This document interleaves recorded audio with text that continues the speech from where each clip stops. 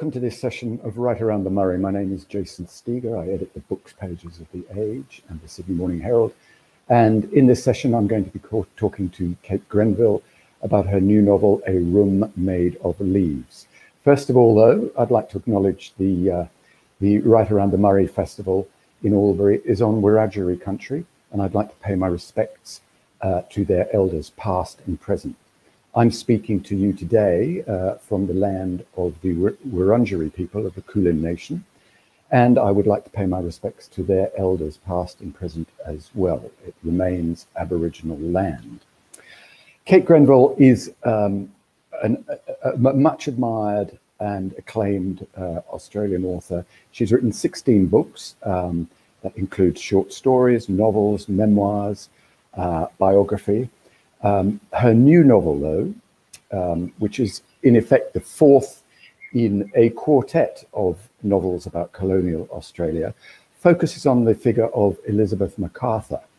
And um, Kate uh, constructs the book as uh, the, she as as the author, and she is also the editor of um, a manuscript that has been discovered, a manuscript written by Elizabeth MacArthur, who was, of course, the uh, wife of John MacArthur, who has been credited with founding the, the Australian uh, wool industry. But of course, um, Elizabeth MacArthur's story and her memoir tells, tells, gives us a very, very different version of, of history. So um, please welcome Kate Grenville. Thank you very much, Jason. And I'd like to acknowledge the elders of the Wurundjeri uh, people on whose land of the Kulin Nation on whose land I'm also sitting. Stories have been told on this particular bit of land beside the Merri Creek, I imagine, for many millennia, and I'm honoured to be part of that tradition. Well said. Um, of course, before I, before we start, Kate, I should mention, and which I forgot to mention in the lead up to this, that um, uh, viewers can ask questions um, during during the uh, session, and um, there, there will be a session. there will be 15 minutes at the end of our conversation uh, when um, the audience's questions will be put to you. Uh, but Kate, um, let's start with uh, Elizabeth MacArthur. Um, I wondered why why you chose her for your return to fiction because this is your first novel for nearly 10 years and what what it was that appealed to you about her character Look, it's odd because I had grown up learning about Elizabeth MacArthur and thinking how boring she, she was, because that was how we were taught about Elizabeth MacArthur. Her husband was fairly boring. Being the father of the wool industry uh, does not make the heart race for you know a child in primary school. Um, and his wife was portrayed as this kind of devout, devoted uh, helpmate, you know, the perfect hmm. wife, basically, supporting her husband in all his endeavors and looking after the family farm when he was away. So mm. I never, it never crossed my mind that I would write a book about her until I was doing deep background research for The Secret River, which is a book mm-hmm. that I wrote in 2005 about, um, partly based on my ancestor, uh, who was a convict who came out and, you know, did various things very early on in Sydney. Um, and in the course of doing that, I read some of her letters. And by then I knew a bit about what Sydney was like in 1790, which is when the MacArthurs arrived. And mm. the difference between her bland, impersonal, Pollyanna-ish, goody gumboil letters and the tumultuous, violent, squalid reality of what her life must have been, um, it showed that those two things together did not fit. They were not congruent. Mm. There was a gap mm. between them. And a gap, of course, is what a novelist loves. And that's when I started to borrow, burrow a little bit more deeply and see that, in fact, in my view, Elizabeth MacArthur's bland, boring letters were, in fact, the fiction that she wrote mm-hmm. about her life to leave as a record. And I thought, well, I will be bold enough to write the non-fiction book. I will write her real memoirs where she actually spills the beans about what it was really like. It's a lovely uh, narrative device, that isn't it? To just pretend to discover discover um, a memoir or, or, or, documents or whatever. Well, you know, it's the oldest trick in the novelist's book. I mean, I, I think that I'm right in saying that uh, Robinson Crusoe, which is usually credited as one of the very first novels ever written, uh, mm. was pretend, pretended to be uh, the account found in a floating bottle of, you know, Robinson mm. Crusoe's um, um, um, adventures on the island. So it's a very old and honourable tradition. And I don't know why it took me 20 years to think of it, frankly. It seemed so obvious once I stumbled on it. But you you you mentioned there um, the gap between the, the perceived reality and and and and something else, um, and that, as you say, is is where the novelist comes in. Um, you you you uh, the novelist, um, and particularly a novelist uh, writing what could be loosely termed a historical novel, but um, uh, that's where you can play, isn't it? That's right. Um, I usually resist the term historical novel because mm. for me, I don't actually enjoy reading historical fiction. For me, it always has a kind of uh, rather rather laborious, research-heavy, rather clunky feeling. And also, I feel where does the history end and the fiction begin? That idea always uh, worries me when I'm reading mm-hmm. historical fiction. So I prefer to say that I write um, fiction that is set in the past because my books are really about today. I am interested in the past, but I'm much more interested in today. And my my feeling as a writer is that our our today obviously is shaped by our yesterday. So the more mm-hmm. we can understand our yesterday, that is the point of knowing about yesterday, so that we can try and avoid some of the mistakes uh, in the decisions we're making today. Which I suppose is, and but that does relate to history in the sense that that's why people study history, isn't it? So that they to avoid those mistakes. But so going back to Elizabeth MacArthur, though, how did you go about creating her character? Did you think then? I mean, I I, I noticed that in um, when Jill Kerr Conway wrote um, the entry in in the dictionary of biography about her, she described her her novels as her letters as showing an acute feminine intelligence, which is sort of slightly um, contradicted by what you say. Um, and so, uh, how did you, uh, did you did you feel that you had a, a, sort of free reign to, to make her make her what you what you felt like? Uh, yes, I did. Although I also did a lot of research that, to me, ran against some of the received wisdom about Elizabeth mm. MacArthur. And that, in fact, took me to the deep underlying theme of the book, which which is not so much, I mean, because it's about Elizabeth MacArthur, but it is really about the idea of deconstructing things that we think we know. You know, mm-hmm. at one point somebody uh, says in this book, how do we know? How do we know what we think we know? You know, what input has gone into it to make us make up our mind about, for example, whether Daniel Andrews is doing a good job? What are we reading to arrive at that yes. at that yes. opinion, whichever it is? Um, so that's why for a long time this book was called Do Not Believe Too Quickly. Mm. So I thought about, um, yes, Jill, Jill Kerr Conway talking about feminine intelligence. Now, that word feminine immediately rings all kinds of bells for me. Mm. What mm-hmm. exactly does she mean by that? I think she probably means, well, I won't, I won't presume to say what Jill Kerr Conway might have meant. Look, I looked at Elizabeth's life. I looked at her letters, which certainly are very um, occasionally, I mean, they are mostly quite bland, but now and again there is a little shaft of somebody witty, ironic, um, mm-hmm. self aware. Uh, and those gave me hope that actually my idea about Elizabeth MacArthur was in fact true that she was, in fact, much more than she appeared, much more interesting than the woman I had mm. been uh, taught about at school. As for whether I had a right to, um, yes, this is a novel. No yeah. one, no one should ever mistake it for history. Unfortunately, though, the only things we know about Elizabeth MacArthur are what she wrote in her letters and what she wrote in a very fragmentary journal of her journey to Australia and the very, very, very few things that other people wrote about her. Now, that mm. leaves her in a vacuum. We're never going to know about her if we're going to stick to uh, those sources. So we either plunge into the unknown and say, well, this is a very plausible, an entirely plausible version of this woman, uh, or we go on knowing nothing about her except this boring. And it's not the problem is not that it's a boring stereotype; it's that it, I think, fails to honour a woman who must have been absolutely remarkable, and moreover, she represents all the women of the past who have been rendered voiceless by the misogynistic societies they lived in, those mm. women should be honoured and rescued from that hmm. silence. Mm. Their true voices should be allowed to speak, even if it's not really their true voices, but an approximation of it. Mm.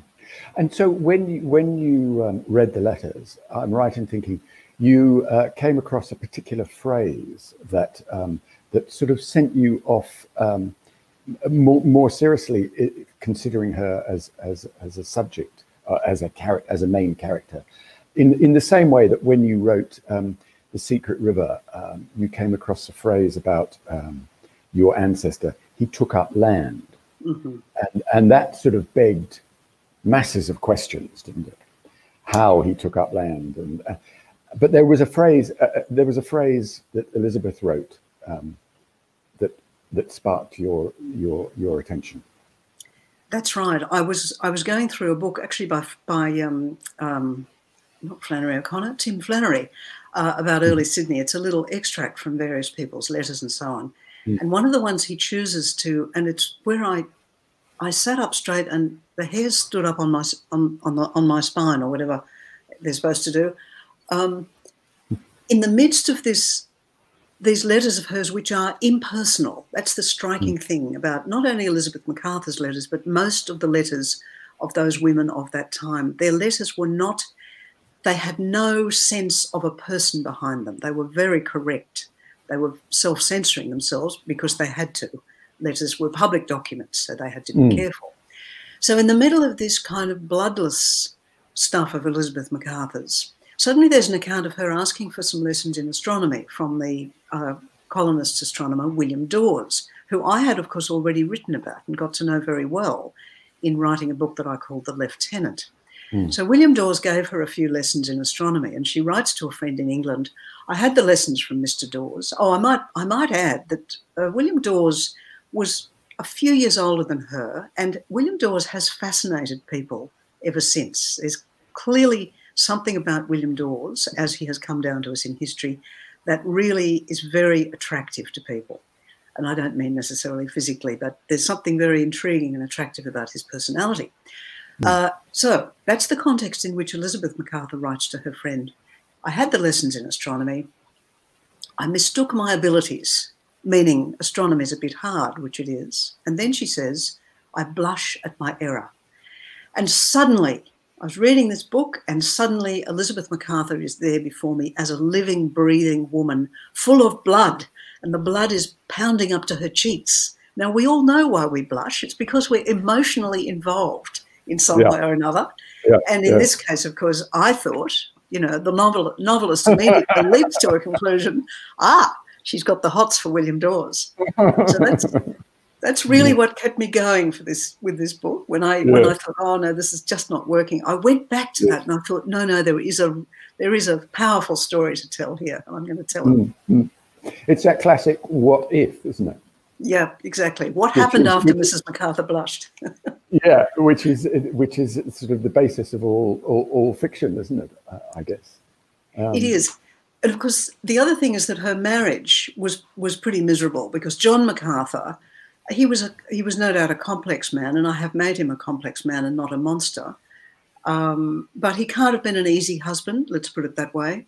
Their mm. marriage was almost certainly a marriage of necessity. It was almost certainly a shotgun wedding, not based on love, and it certainly wasn't based on any of the Jane Austen prerequisites of money or class or status, mm. because he was the son of a draper. Although he mm. loved later to put it about that he was aristocratic. He was not. He was the son of a draper. So, you know, her marriage, I think, was probably lacking in some of the things that um, we all look for in a human relationship. And in my version, she found it with William Dawes. That may or may not have been true, but it's certainly not impossible. Mm. So when you um, when you write about characters who existed, and you're you're putting them in the context of real events and everything. What um, what is your responsibility? What are your responsibilities to history and to and to those real characters? Can you simply um, well, can you do what you want? In effect, I mean, I, accepting the fact that it is fiction. Everybody has to, you know, any reader must realize that this is a novel. And um, so, what uh, when you write it, do you have a, a sense of responsibility lurking in, in the background?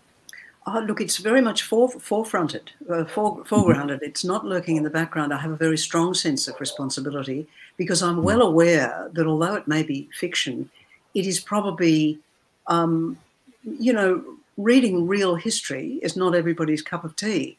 And so it may well be that my version of Elizabeth MacArthur uh, is more, becomes people's idea, many people's idea of Elizabeth MacArthur that is a big responsibility. I'm not in the business of just making things up. So uh, I think every uh, writer of, um, let's say, historical fiction uh, has their own kind of parameters. Now, mine is to mm. take to take to do my to do my homework and find out all mm. that is known in the historical record, and never to never to invent something that simply could not have happened, never the impossible. So I always I always look for the moments in that historical record where there is a bit of a puzzle, there is a bit of a question, and I think to myself, well, what is the most? I think it's called um, Occam's razor, isn't it? You go for the mm. most, the simplest and most plausible explanation, and mm-hmm. so that's that's what I that's what I do. I I use the historical resources. I go back to the primary sources. I I do, of course, read the secondary ones, but um, mm. only after I've made up my own mind, really. Yeah. Um, so I spend a lot of time in the libraries deciphering 18th century handwriting. Um, so, yeah, that must be pretty difficult. it is difficult, particularly when Elizabeth MacArthur used to cross-write her letters because you paid for postage on the basis of how many pages you wrote on. So you'd write one way and then you'd turn the page at right angles and write across it. So that's really hard to read. Anyway, I did all that.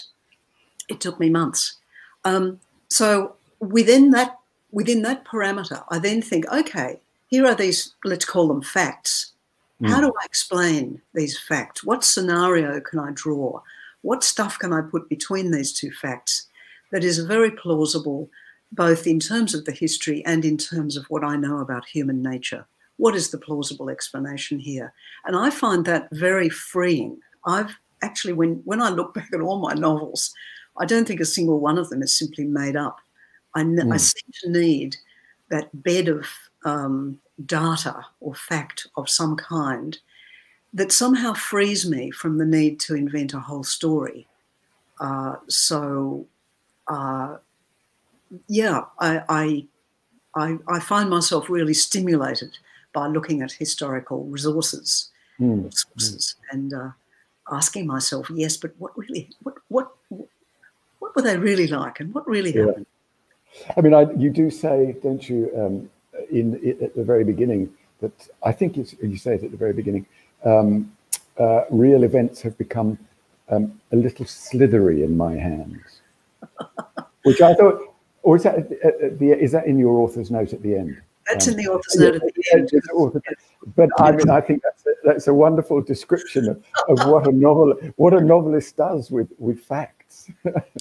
Yes, and of course, in that in that note at the end, I do mm. confess to the. There is only oh, there are a couple of points when I have actually uh, gone against the uh, kind of actual dates and facts, and one mm-hmm. of them mm-hmm. is that I've combined two uh, governors, Hunter mm-hmm. and King. I've combined them into one, um, and that's because, and I've admitted to that in that mm. note at the end, because it's quite a big thing to do, and it cuts against my my conviction that I should really stick to the, you know, the, the reality. But mm. the problem is that Hunter and King, in terms of the MacArthurs, uh, they had the same effect on the MacArthurs. And to go through the whole business of doing twice would, mm. I actually wrote it, but it felt very repetitious. So mm. at about draft 28, I think, I made the, the quite, for me, quite confronting decision to combine these two people and give them a nickname, so I didn't have to kind of, uh, you know, fudge fudge that bit. Hmm. They were both. 28. Oh, look, it was Wow. draft. The last, the last draft was actually draft thirty-four, which makes it sound worse than it is. It makes me sound stupider than I really am. Stupid though I may be, because a lot of those drafts. What happens is that I, I printed out. I do it on, you know, st- I do the first draft by hand. Mhm. After that, I put it into the computer and I then make handwritten corrections on the Mm. printout. And there's a point when the printout becomes impossible to read. And that's when I print it out again and call it draft, whatever the next one is. So it's not quite as, yeah, it does sound a Mm. bit OCD, doesn't it? 34 Yeah. but I, the the the I the notion, I mean, the the reality of of women's across history of women's stories not being heard. I mean, that's something you have written about uh, going back to Joan Makes History. Um, it seems to be a consistent interest of yours. Yes, in fact, it even goes back, it, it actually goes right back to my very first book, I think, the book of short stories called Bearded Ladies, Lilian's story. They're Yeah. all trying to give voice to a section of humanity that was either voiceless uh, as the women of the past, or they have a, Mm. a voice that was necessarily distorted. It was Mm. partial. It was self-censored in some way or another. So it is a it is a preoccupation. Not that I've ever, Mm. you know, you realize these things in retrospect. If when I was, um, I don't know, 24 and starting to write, I had thought, right, I'm going to spend my career writing about, you know, giving voice to women. And of course, The Secret River, I suppose, is the big exception to that because that's, um, uh, and of course, Dark Places. They're both Mm. more or the point of view of a man. Yeah. Um, but because there's a there's a moment when um, early on you you um, Elizabeth says, "How can there be the history beyond the the watertight and trim lies another just as watertight, just as trim," and that's um, that seems to me to be um, you know make make this add to the utter sort of convincing nature of, of, of your story. Because uh, it, it's all so plausible isn't it and the fact that she admits that this is only, and at one point, actually, I have Elizabeth MacArthur saying, and of course, you have only my own word for this. This you Yeah. think this is my memoirs, but this may all be the invention of a sly old woman, which was a line that, Yeah. which was a line that I found very amusing to write. yeah Yeah, uh, that notion of the history, the reality, Mm. is probably the most important thing of our moment in history, it seems to me. And the pandemic has amplified that sense that we are saturated in misinformation. And the Mm. big puzzle, the huge puzzle, which is harder every day to, to solve, is where to get proper information that is not polemic. Everything wants to persuade you of something, one way or another. And in Mm. fact, reality is never uh, uh, one thing or the other. It's always a complicated muddle of something in the middle. So that's the sense in which this book is profoundly about today. Um, a time of toxic misinformation that looks entirely convincing, as really any story can if it's put Mm. Mm. put well enough. I mean, you know, we all saw, uh, to go a little further from home, from Dan Andrews, um, uh, uh, we all saw Trump standing up saying, um, I don't for a moment want to compare Dan Andrews. This is why I'm stumbling here. I'm a great admirer. I'm a great admirer of Dan Andrews. I, in fact, wrote him a fan letter last night. So, having said that, I can now move on to Trump without anybody thinking that I'm equating Dan Andrews with Trump. But, you know, we all saw Trump standing up and saying, look, if bleach kills this, why don't we all just drink bleach? And there's a moment, there's a moment when even, you know, intelligent people think, oh, gee, maybe he's right, because he put it quite convincingly. And, you know, the, the rationality swings in in a moment, and you, Yeah. of course, you know, Yeah. that's absolute nonsense. But you know what I mean? Clearly, for Mm. that moment, he totally believed it. It was Yeah. totally plausible to him. And that's what's so dangerous about a particularly simple truth, simple things that appear to be true. The simpler it is, some wonderful person said this in a fabulous quote that I've now forgotten, but basically what they were saying is if it seems really simple, it's almost certainly not true. So that's mm-hmm. that's the other thing that spurred me on in writing this book mm. because between uh, about 2000 and last year yeah. when I finished it, the world became more and more a place of people believing crazy ideas, dangerously crazy. And of course, the internet, mm-hmm. let's not even go there, but you know, social yeah. media amplifies the echo chamber. We all know that stuff. And yet, you know, I read the papers, uh, and even though I disagree with a great deal that they say, I know that I have to work quite hard not to be convinced by it. You see it in writing. Mm. You think, oh, yes, maybe that's true after all. Mm-hmm. Well, in the end, as you say, you, you sort of have to decide, don't you? You have to come down one way or another, I suppose. Well, maybe you have to do something a little bit more difficult, which is to live with a certain degree of uncertainty. Um, mm. That's very good. See, I'd, I'd rewrite that sentence if I had a chance. draft, draft two of that sentence.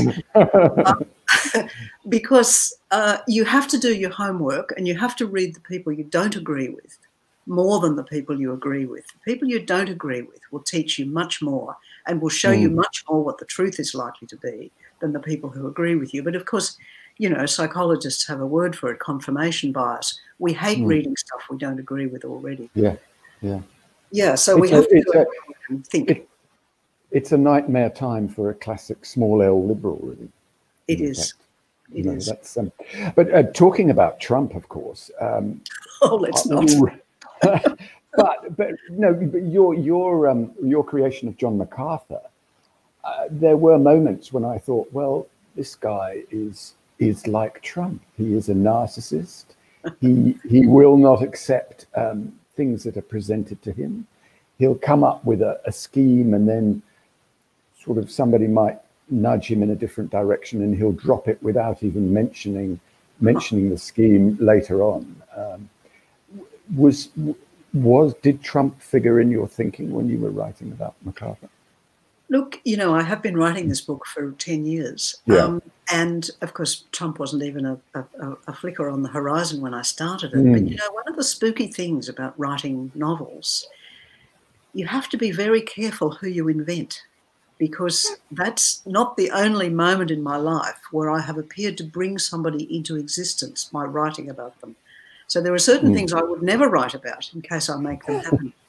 Look, uh, beyond that, not really. I mean, Trump is, uh, who knows what Trump really is, but John MacArthur was actually a more interesting. Um, he he was a he was a narcissist. He was a wounded narcissist, and I think maybe mm. that's the difference between him and Trump. My version of John MacArthur is quite a complex man who was damaged in childhood, as I think mm-hmm. you know, many many people who grow up to be difficult were, in particular ways, that made him armored and guarded and needing to win at all costs in a way that mm. you know you don't have to go as far as Trump to look to to, to find sure. that. Sure. Um, but I've also given him uh, moments of softness that his wife sees, and he immediately smothers them.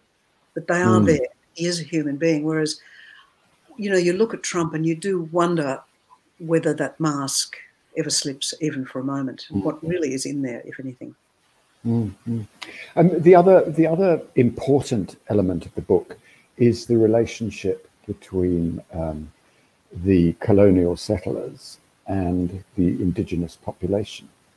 And um, I think um, um that uh, you say later in the book, uh, I mean, I, I think Elizabeth encounters through uh, doors um, initially the, the indigenous population, but she in, increasingly becomes aware of the, the, the nature of the relationship between the settlers and the population. And there is, of course, um, an act of violence towards the end of the book that she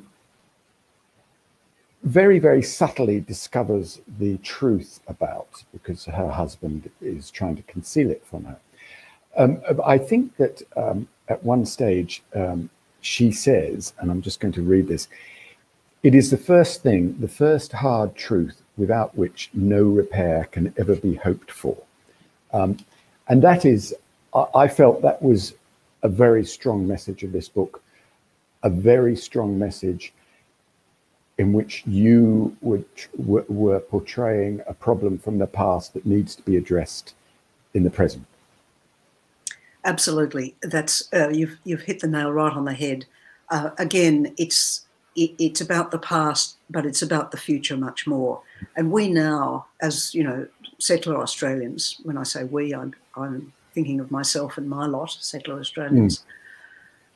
Uh, we have unfinished business. We have unexplored business, and um, the MacArthurs, of course, were the first people to steal a particular hundred acres from the Burramattagal people. So they were one mm-hmm. tiny microcosm of what happened, uh, what has happened all over Australia, complete dispossession mm. uh, of the Indigenous people. So they were the first people to do that, and I obviously could couldn't didn't want to tell this story without addressing that that overwhelmingly important fact uh, that you know settlers settlers dispossessed, as you say, it, it was never mm. ceded, remains mm. Aboriginal land. Uh, so what do I do with that? Well, in the Secret River, I had talked about and tried to explore what actually happened, what it was actually like, how it came about that one set of people felt entitled to take mm. to take land from another, to dispossess another set of people. So I didn't want to tell that story again. I felt I had kind of made my, you know, said all I could say there. But what I realized is that there's another dimension to it because after the taking is the story of the taking. So mm. for hmm. the last 250 years, settler Australians have been telling each other stories about how it was okay that we did this. You know, in the old days, it was, oh, well, they were just nomads. You know, they didn't use the land. We had every mm. right to take it. Um, Keith Windschuttle, back in the history wars in the early 2000s said, oh, we didn't do anything wrong. It's just they had no immunity to smallpox or um, uh, measles. They all just died. Mm. It was terribly sad, mm. but it wasn't our fault. No massacres happened. Oh, dearie me, no. So I thought, okay, this is my chance um, to investigate a little tiny bit of um, the fact that history is told by the victors. And theirs is the only story that remains. And that's particularly so when, in this case, the Indigenous story of all that that happened would have been only oral history. And we mm. did so much damage to the sort of uh, continuity of oral history that uh, many of those stories are now lost. That means the dominant history is the settler one or the colonial yeah. one. So I've taken a particular moment in Sydney history, which has become known as the Battle of Parramatta, although it really wasn't a battle. Um, on and when I discovered that John MacArthur was the person in charge of that bit of military act, activity, I I realised that the the version of it that has come down to us is almost certainly not true. Uh, it was probably set a, set about by John hmm. MacArthur. Mm. This is my own theory about this. Um, and we will now never know what the truth was, but it almost certainly isn't the story that we've been believing for the last 200 years. Mm. So that seems quite an important emblem or, or, example of what we should do about deconstructing yeah. the stories that come down to us and uh, asking a few hard questions about them.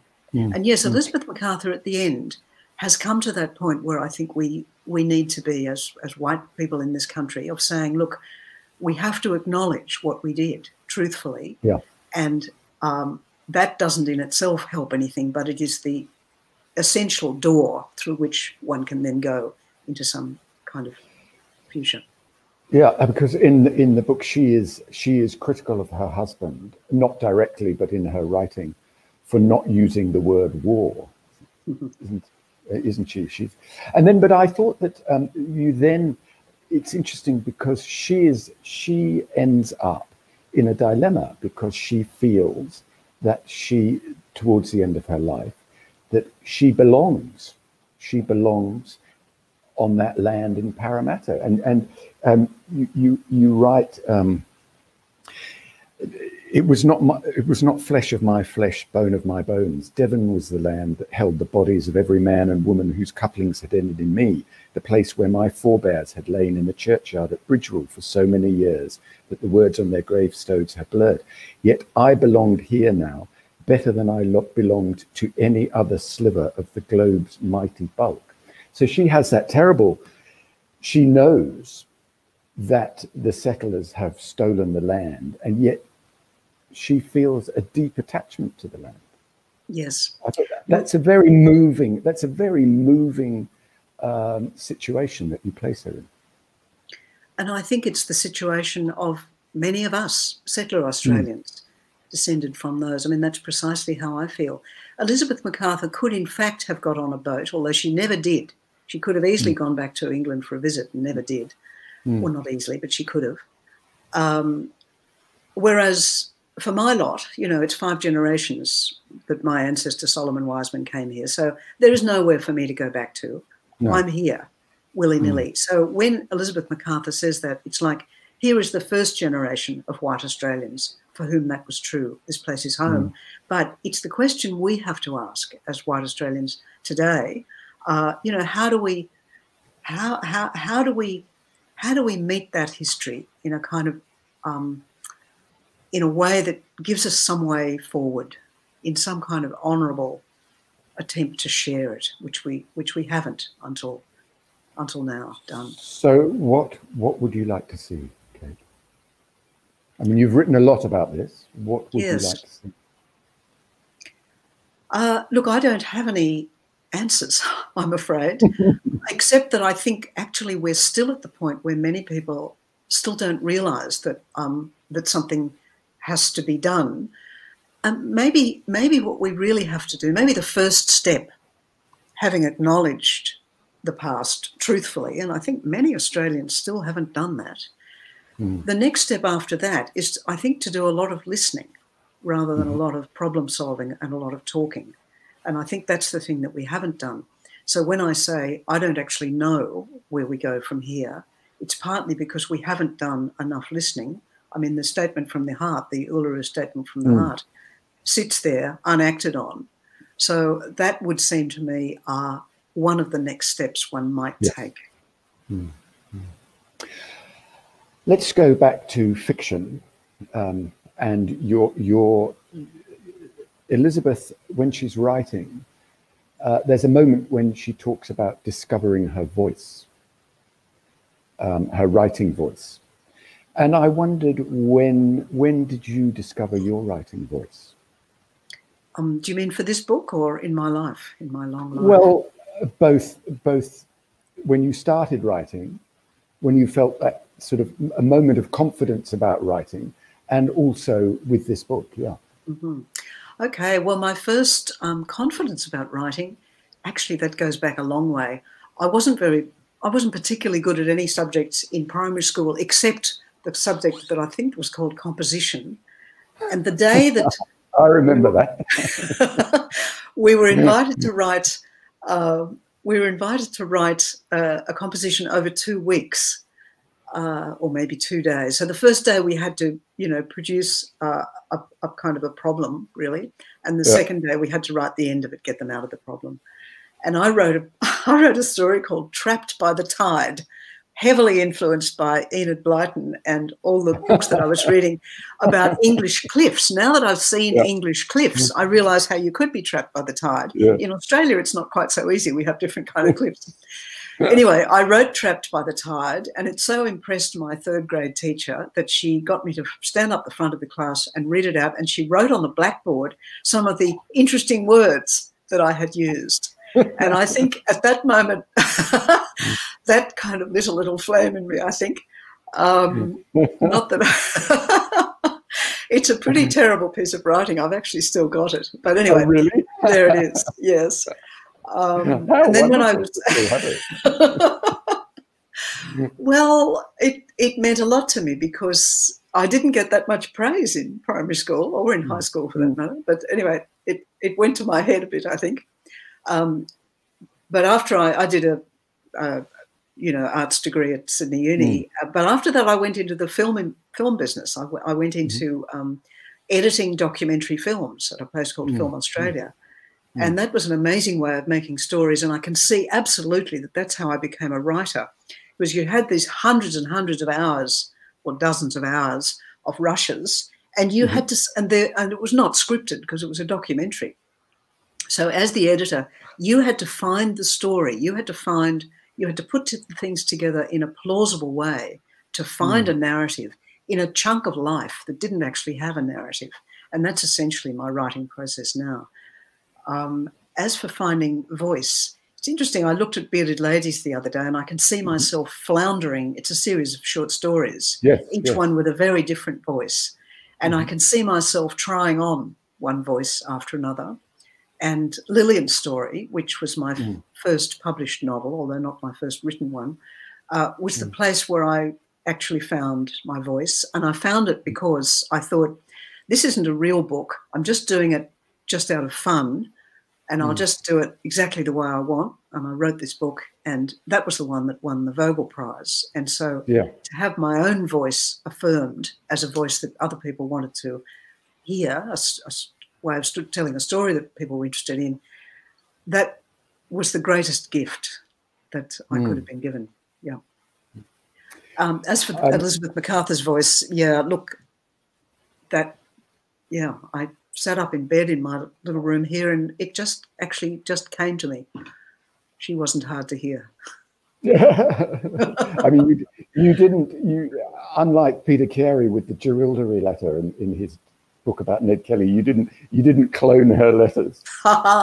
no, in fact, I had to avoid them because yeah. they are a little bit um, ponderous usually. Yeah. And so I found I had to read them and then go right away and not read them for a few days before I started yeah. writing. Yeah, yeah. Uh, it, going back to um, Jill, Jill Kerr Conway's comment, she she says they're very 18th century. Um, yes, I wonder what she means by that. Wouldn't it be nice to ask her what she meant by feminine intelligence and what she meant yeah. by 18th century? And I suspect she means the stereotype we have about 18th century women, those poor things, they were like us. They were human beings who wanted to have yeah. agency in their lives. They wanted to have a voice. They wanted to have some power. They had none of that. And yeah. to be left with people believing that that was what was that was what they accepted is very wrong. I'm sure they hated it just as much as we would. I'm sure, oh, I'm sure. Yeah, I agree. My final question, um, Kate, would be: You are writing about the past. Um, are there other writers who write about the past who you particularly admire and who you would always read? I, am talking about novelists who, who write about the past. Um, ah, what an interesting question. Um, uh, perhaps you're hoping that I might say Hilary Mantel. Um, well, I don't know. know. I mean, you might hate her stuff. I, I don't yeah, know. I can't actually read it. I, am one of the few people in the world um, that I, I, it doesn't it doesn't turn me on. Mm. Um, even though I admire it very much, I can admire it without actually wanting to read it, if that makes yeah. any sense. I hope people don't say that about my book. No, she does a fabulous job. And you know, one of the things she has done for us is to make it respectable to write this thing called historical fiction mm. because she has so transformed and brought a, a, bit of history to people's consciousness in a wonderful way.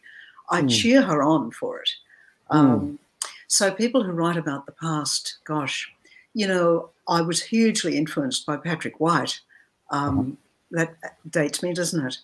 Um, who writes about the past. I mean, The Tree of Man, which is about yeah. early Australia, was a very formative book. I thought would have read that sometime in my teenage years, I think. I don't mm. quite know when it came out.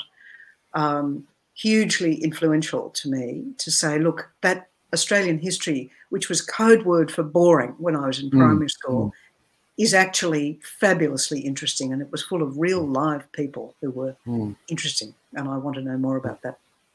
Mm. Good. Um, Kate, thank you. I'm going to um, have a look at some of these questions now from from uh, from the audience. Uh, yes. Well, can we can we say audience for an online session?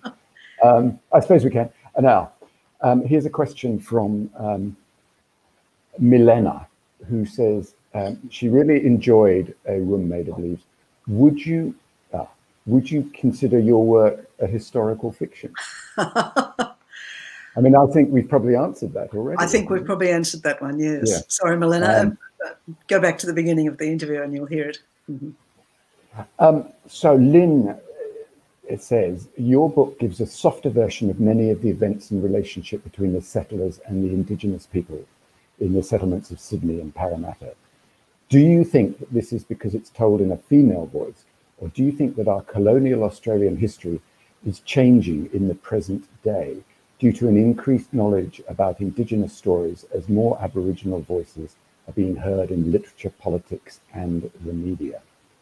Yes. Um, was that softer, a softer version of the beginning of the question? Uh, softer, yeah, yeah. Yeah, okay. Um, look, I hope that I'm writing a harder version in many ways of that of that confrontation between, um, uh, you know, on the frontier. Um, John MacArthur didn't call it a war, but I most certainly would, and he didn't call it a war. Anyway, that was a, that's another whole story. Um, I think it's a fabulously interesting time to be writing about these things because our culture is shifting. For the first time in really 200, 250 years, white Australia is starting to make space for the Aboriginal voice and the Aboriginal mm. reality and the Aboriginal stories to be told. It's high time. In fact, it's long overdue. Um, and that means that a white writer like myself is writing in that context, and that gives me um, that gives me the confidence that I'm not just writing out of my own preoccupations, but I'm actually writing into a culture which is now um, kind of receptive to opening up some of those subjects that used to be sealed up in little uh, myths like, you know, the pioneer myth, um, you know, the heroic pioneer idea. And that's all been blasted apart, and that is fabulous. The fact that Indigenous writers are now, their voices are well and truly uh, out there telling wonderful stories. That is um, so much what has to happen. It's so good. Right, now the next question comes from Milena again. Says, have you thought of writing a novel based on Maria Locke, daughter ah. of Yarramundi and one of the female students in the Parramatta Orphan School, and she's li listed as the last of the Blacktown Aborigines. Mm -hmm. How interesting. Um, now, if I'm not mistaken, uh, a, a, a, a Darug woman uh, Julia Janson has just written a book called Benevolence, which I think Maria Locke is is part of that book or is somehow connected there. Look, my feeling about writing these things is that I I feel very comfortable telling the stories of my lot, if you like, the white people, the settlers. Uh, I every writer comes to their own point of their own sweet spot about what they're prepared to write about or what they feel entitled to write about. I don't feel entitled to write about Indigenous characters. Entitled may not be quite the right word. I'm I would leave it for Indigenous writers to do. But Maria Locke must have been an amazing woman. And uh, yeah, I would love to read her story. I don't want to write it, but I'd love to read it. Now, there's a, a comment here from Kim who says, I love the fake news element of the novel. John MacArthur's modern day equivalent came to mind. That's obviously a relation a relation to uh, relates to Trump. Uh, now, Chris says, I, I, I liken your unraveling of Elizabeth's words to peeling layer after layer from a hidden garden, revealing the jewel inside. What was the experience like for you finding this woman? Ah, yeah, that's a lovely image. You know, Michael Ondaatje says that every writer is a uh, always is a kind of archaeologist, monkey, and that is quite quite right. You you start with this surface, as I did with the Elizabeth MacArthur letters, and you peel them back. You get out your little paintbrush. It's it's slow, tedious work, and you dis you deconstruct tiny elements of of the writing. So it is like that. You know, I read the I read the letters and I thought, okay, there are just these few moments that are interesting, like I blush, blush at my error. But then I realized there were other interesting moments that the eye had glanced over. So, for example, MacArthur went to England for three or four years. So she was alone for those years. And my feeling, my strong feeling, is that she loved it, the years when he was away. Oh boy, she was so glad. Um, but just before he was about to come back, she'd got news that he was on the way. And she writes to a friend you can imagine my delight Uh, no, no, she says, I, you can imagine my feelings at the return of Mr. MacArthur. And thank you. you. Yeah, that was exactly what I felt. Once I started to peel back that second layer, I thought, aha, um, she and the person she was writing to probably knew exactly what her feeling was. Uh, but you could read that, John MacArthur himself could read that letter and not find anything wrong with it. So it was a question of constantly, yes, digging down to the next little layer through the dust. Um, now, Sally would like to know how do you write from different points of view? Ah, well, actually, I don't. I'm not very good at that. Um, my books, I think I'm right in saying, are all uh, what Henry James called the, um, oh, I've forgotten his phrase, unifying consciousness. Jason, help me out here. I think, I think that is the phrase. I think yes. so. So everything, all the all the events are seen through one person's consciousness. Mm. You think I've got the right phrase? Okay. Um, I think so. I, look, I'm no expert on Henry James. I'm a great fan of Henry James, so I Are adore you? everything he said about writing. Yes. Um, so I, I, I, I would find it quite difficult. I admire writers who can slither in and out of different kind of heads of different characters in that seamless way. I think that's a whole technical skill that as a writer I've never acquired. Um, I think perhaps because I'm interested in subjectivity, I am actually interested in the fact that everybody tells a different story. Um, it's not a coincidence that I've told two versions of um, Lilian's story and Dark Places. Lilian's mm. story is about a, a young woman who is sexually abused by her father. Dark Places is her father's story, written from his point of view. So I think all through my books, I can see that I'm fascinated by this idea of the sort of Rashomon kind of idea. There can be many, many different versions of, of a story, um, and they can all they can all be quite strong. But if you have a book where you are in a lot of people's heads, then you're much more, you know, godlike, omniscient kind of. I know what everybody's thinking. I'm going to just tell the reader what they're thinking. That's mm. that's that doesn't seem to be what I do. Mm. Um, now, Peter has a question. He's um, Kate. How many other amazing women are hidden away in our, our Australian history who need their stories told? Do you oh. have any that come to mind? You're going to be very busy if you're going to tell them all. Look, there would be millions, literally millions. Um, yeah, I think everybody should, you know, everybody has grandmothers and mothers, uh, even at that recent uh, distance of history. Those stories get lost too. I mean, I've told my mother's story. She was, and, and when, when I was writing it, and I said, I'm writing a book about my mother, people would say, Well, what did she do that was so special? And I'd say, Well, she didn't do anything terribly special, but she was she was representative of a generation of women who went through an amazing kind of uh, time in history, blah, blah, blah. So it's like every one of those unsung women should have their story told. And while one's grandmother is still alive, one should ask them for their stories. Uh, and early colonial history, um, most of them have vanished. That's the problem. Uh, the educated ones left these starchy little letters, like Elizabeth MacArthur. The uneducated ones usually didn't leave any letters, or when they did, uh, they're interesting, but they're, they're very uninformative about what the people were. Women's lives have disappeared, even more than working class men's lives have disappeared, and that's saying something. Uh, when you even go looking for women, of course, they're hard to find because we changed our names, or they changed their names. So, you know, it's hard work. So, anything you can do to dig them up and honour them is to be applauded. Uh, now, Kim Kim has has written a question, and says, as soon as Smasher Sullivan's name was mentioned, a vision of Tim Minchin hopping around Elizabeth MacArthur and early Sydney Sydney town springs to mind. Uh, do you think that um, this this book will be adapted for the screen? Ah, oh, gosh, I hadn't thought of that. But yeah, gee, Tim Minchin, wasn't he fabulous in the play? Wasn't he fabulous?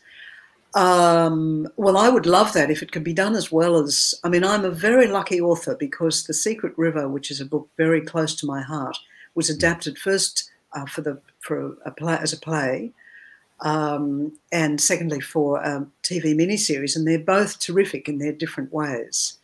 Uh, you know, most writers hate to be adapted for other media. I've been extremely well served, so I would be thrilled if someone could do as good a job for Mrs. MacArthur and perhaps for Mr. Dawes as well. Um, now, there's a couple of questions about um, Hilary Mantel. Oh. Jan, Jan says, what is it about Hilary Mantel's style you find difficult? Uh, she says, I, I wrestled with Wolf, Wolf Hall to begin with, but then, then got into the zone. And Thomas says, if not Hilary Mantel, what fiction do you read and or take inspiration from? Uh, mm-hmm. He would be so fascinated to know. Okay, Hilary Mantel. Yes, I shouldn't have. Um, look, maybe I should have persisted. Maybe, maybe you have told me that I should persist. On page fifty or so of, I think it's Wolf Hall. There's a very long description of something like a, a Turkish tapestry hanging on the wall. Goes on for about a page, and that was the point at which I thought, ah, she should have killed that darling. You know, the the truism about about writing. Uh, mm. She found it in research. I've been there myself. You find it in research, you can't bear to let it go. But it suddenly shouts, Look what I found, you know, uh, rather than somehow foregrounding the people. But maybe I didn't persist long enough. And I do honour Hilary Mantel. Don't think for a moment that I'm criticising her. As for what I read, you know, I now find it quite difficult to read fiction because I can't read it unself consciously um, I'm always thinking, oh, look what they did there, or can I can I use that device that they've used there, or oh no, I, I don't think that's very good there. So it's really hard for me to just submerge in that lovely warm bath way that I used to. So I read a lot of nonfiction. Um, I've just read, well, I've just read Katharine Murphy's fabulous quarterly essay about the pandemic. Um, before that, I read a book called Thinking Fast and Slow, which is fascinating about such things as fake news and why we believe what we believe. Okay, so we've got the we've got the easy question last, Kate. what is my favourite colour? I know. do you have? Uh, Susan has asked us. Do you have a definition of feminism? Oh I, yeah. I believe it to be a strive for equality, but younger women will argue me down. Huh. Well, yes, sure. It's a really. You have about, a minute, you have about a minute for that. Mm, yeah. Look, um, I'm not sure about equality, but I think equality uh, equality of opportunity is what I would say. Feminism is equality of opportunity uh, between men and women, which doesn't necessarily mean doing the same things or doing them in the same way, but to have equal freedom to do any of the things that your psyche impels you to do, whether that's go out and be a career woman, stay at home and mind the kids, but they both should be equally, and all the things in between, should be equally possible and equally honourable and honoured. That's that's a pretty good place at which to end this session. Um, Kate, thank you very much for talking to us about a, a, a, room made of leaves. It's a wonderful novel. Um, uh, it, now, people who are watching this, if you want to buy the book, if you're in Albury, um, you can get it from Dymocks of Albury, and they will deliver it free if you're in Albury, or um, in the local area. There's a, might be a small charge, but obviously uh, anybody else can get the book at one of the many um, bookshops around the, the place that are doing click and collect. If you're in Victoria, if you're lucky enough to be somewhere where you can wander down to your local bookshop and actually buy it I think it's a very good idea if you haven't done so already. Um, if you want to check out what is coming up next, you can go to writearoundthemurray.org.au to see what's on after this session and what is on tomorrow.